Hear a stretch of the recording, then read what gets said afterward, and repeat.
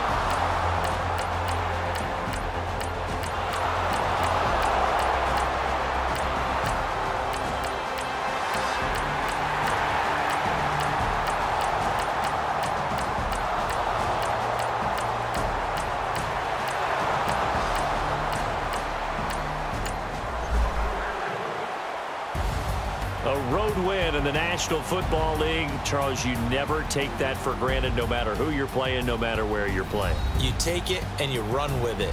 and you know you prime the pump all week in your own home facility. No one thinks we can do this. Only people who believe are right here in this room. And then you go on the road, band together, and get it done.